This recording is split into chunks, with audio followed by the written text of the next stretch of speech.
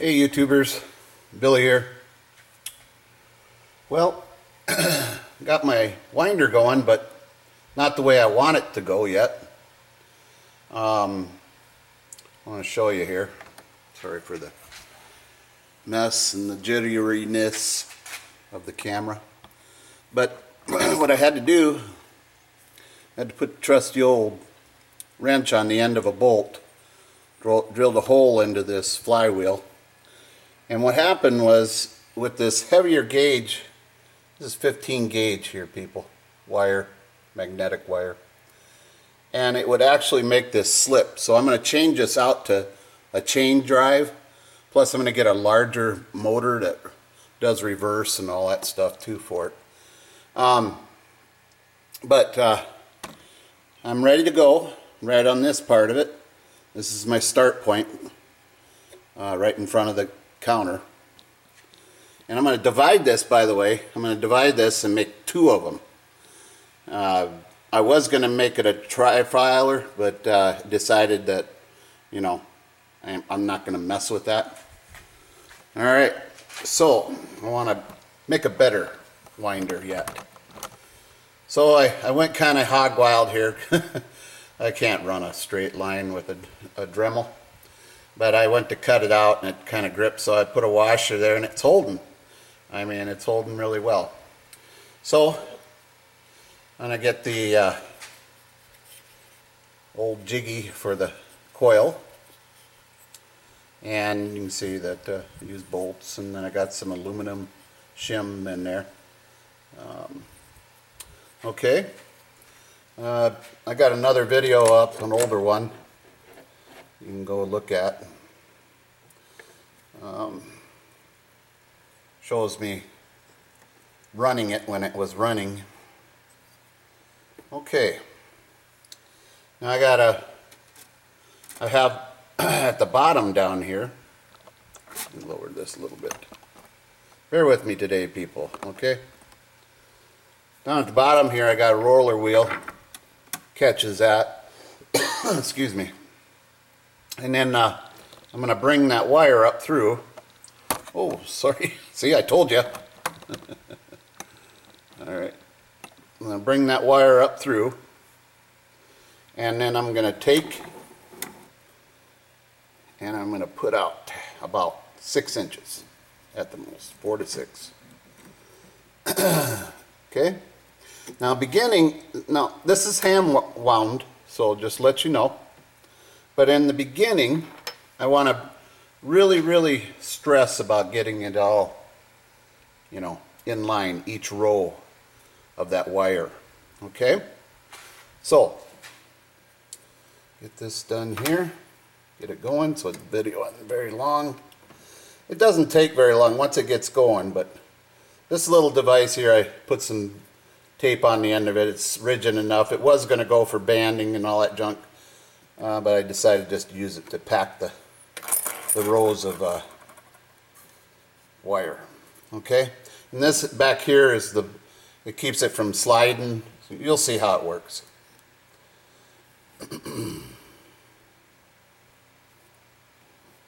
have to hold on to it my first couple of times. There it goes. See it loosened up. This is uh, that was my first one though. Come on now, hold on. Got to tighten her. Gots to tighten her. Okay. Um, let's see here. Try to pull that extra out. Really don't want to mar up the wire.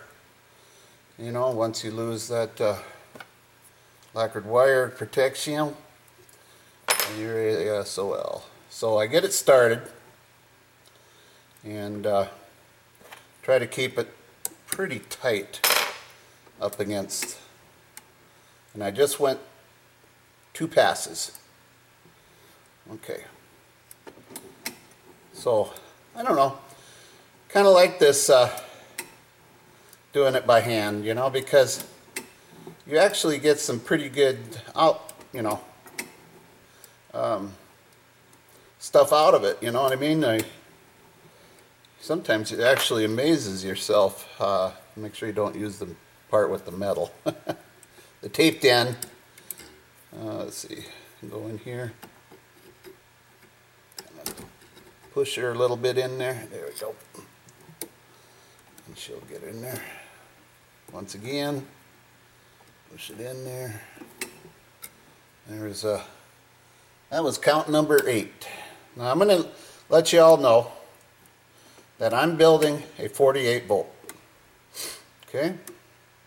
This 48 volt stator will not be put on mine. I'm going to build a 24. But uh, I'm going to let you know about the 24 that uh, Chris Olson states all over the place. Uh, it's the 15 coiler, and uh, you got 20, uh, yeah, it's 20 monopoles. And uh, then the 20 monopoles, along with the 15 coils, at 70 turns per coil because you're going to be using 14 gauge from what I read. So, and so you have to have a little bit. But this one, we're going, we're going a little higher, or a little lower, excuse me, a little lower, because the gauge thickness of the wire. Okay. Uh, let's see. Once I can get it going pretty good, I get a, a good clip on it, you know. But it keeps it pretty all, I'm just keeping a little tension with my finger. Keeping it going around the, you know, the turnstile. Okay.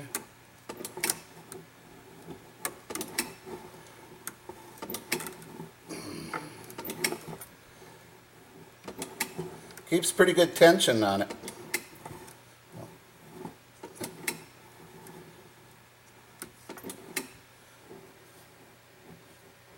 I just, I'm just not able to go 100 miles an hour and go, that's it, it's over. Orland did a good job on his. I'm not going to be able to make something like that because of the money. Um, but otherwise, I want to thank Orland for, even though him and I haven't talked in a long time, but I want to thank Orland for all the help he's done, uh, showing everybody uh, it's too bad what happened to him. Like I, I'm a victim of it too. So you know what I'm talking about. But we manage. You know, people, some people act like they're a demigod. Some people are narcissistic.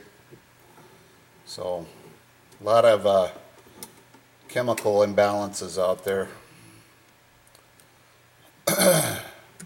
some people need some meds. Happy pills. So anyways, I'm going right along. I'm at uh, right at 50 right now, 50 turns.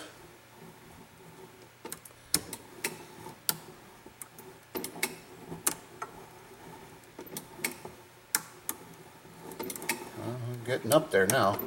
But this is how I did them. Um, when I get that motor It'll be lickety split and over with. See, I got an overlap there, which bums me out all the time. Now I got to mess around with that. But I, there's, you know, there's improvement. It's my first time doing this, people, and uh, I'm going to learn it because Chris Olson and Hugh Piggott. I'm at 61 now turns, 62, 63. 64 and 65. Now I got to come all the way around once. Now I got to keep tension on it. I take a zip tie and I place it through, making sure we can keep it tight, keep the pressure on it.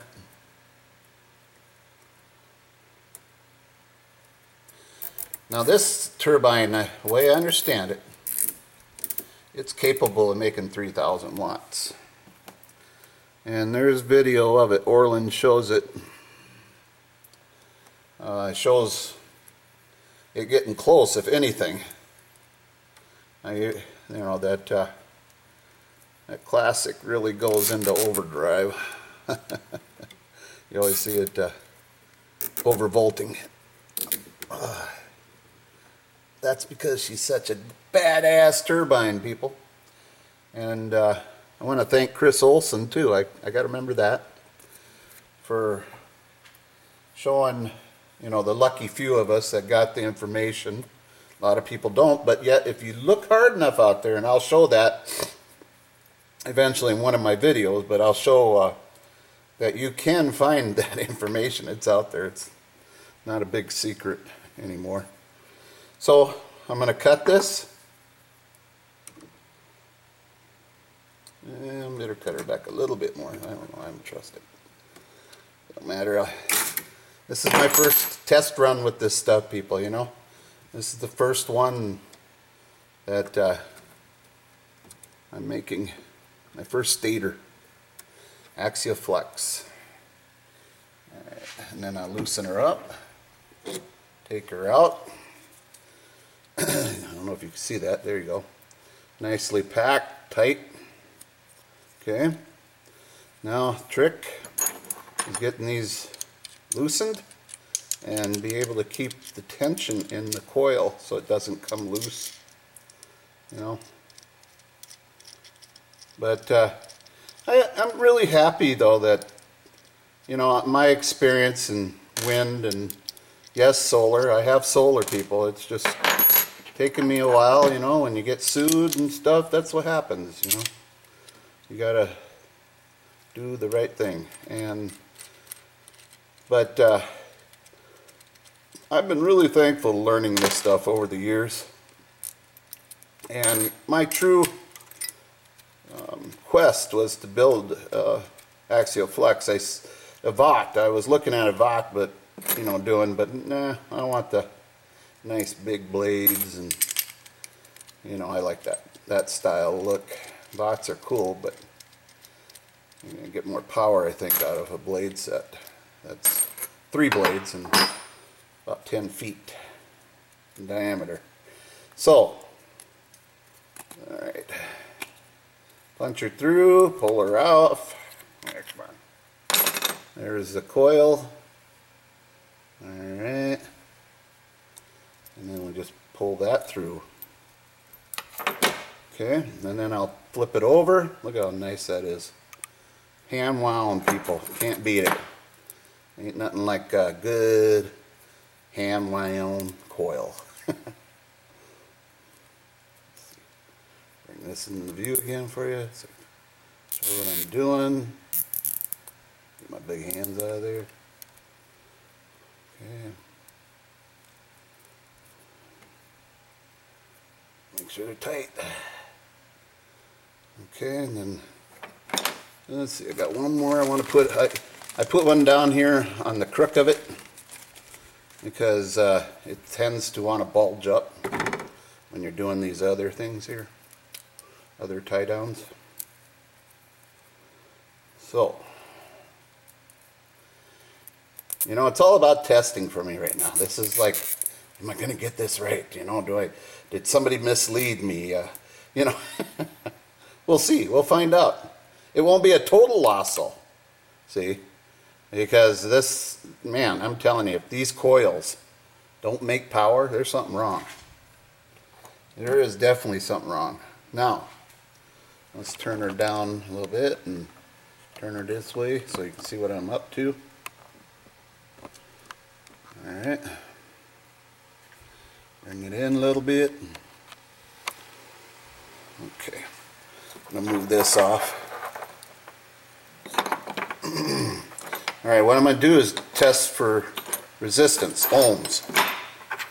Okay, I got me a little file here, and uh, I just take and run it back and forth like this on there, just to get me a spot opened up on it, you know. And then I do the same down here.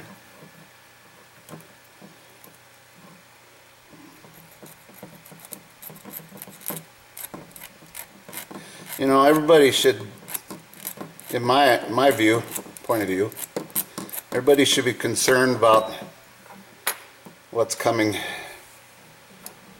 here pretty soon with the Chinese and Russia and all the problems that uh, we are faced as Americans. So I think it's time that uh, we have become self-sufficient because I do feel a collapse on its way. I just, I don't know, maybe it's just something I, I've kind of been noticing. Okay, so we're gonna turn her on. Turn her right side so you can see her.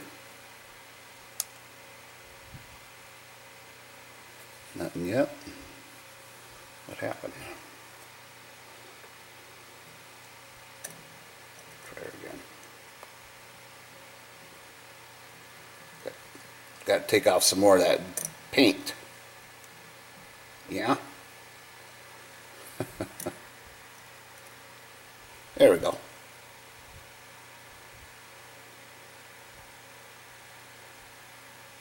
There you go. About point 0.9 to point 0.1. That's what all of them have been reading. And by meaning all of them, I'm going to take you over. Like I said, excuse the mess. I'll take you over and let you, whoa, whoa, let you check out everything here. Didn't have that tied down very well. But uh, got it over here on the weld table. And there it is, people. and you just watch me make, da da da. You watch me make that one. Now I gotta tape them up and solder them. And that'll be my next video. Okay? Uh, some people build like a little jig for that too to hold these all in place. I'll probably do that.